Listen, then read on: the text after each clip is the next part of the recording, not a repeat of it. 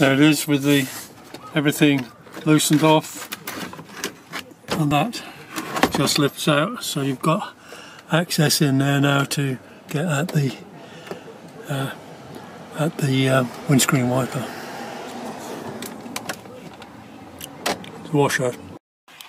Now what I've done, uh, I'm, I'm changing the uh, the nozzle for the uh, for the you can see it. Uh, then I've, I've put a bit of gaffer tape over it to stop the new one poking through. The old one I just chiselled off from the outside because uh, it's difficult to get in here. Quite a poor design from Land Rover. This bracket is in the way. You can't get your fingers in, you can't get a socket in, and you need a long, a, a deep socket to get to get that on. So what I'm going to do, if you look, there's just a single spot weld there. I'm going to drill that out, but before I do it, I'll put a uh, a hole through for a self tapper so that I can just fold it back in again. This, hopefully, when I fold it back out, will give me access to get a socket onto that to change it. It's an absolute pig of a job otherwise.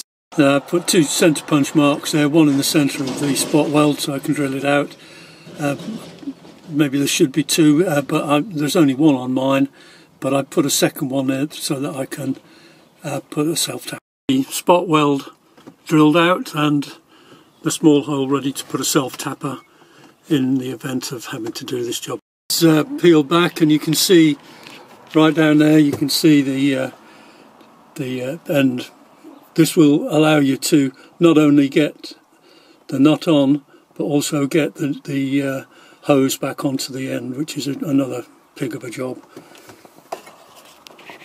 You can see I've jammed the bra new brass nut there in with a piece of tape so that it doesn't go further down so I can, I can start it and I've got this one which is uh, obviously a universal one which will take the, the bend and allow me to tighten it. There it is tightened up uh, just far far easier. I struggled for, for hours trying to do it before and resorted to this method.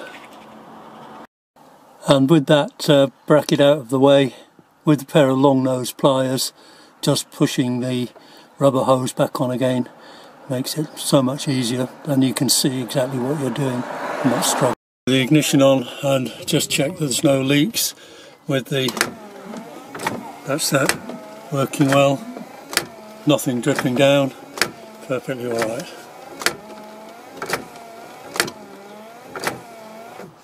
Is back again. Uh, I, I, did pop that plug out uh, just to give me a bit more access. Um, no need to, obviously that hole, the bracket is there.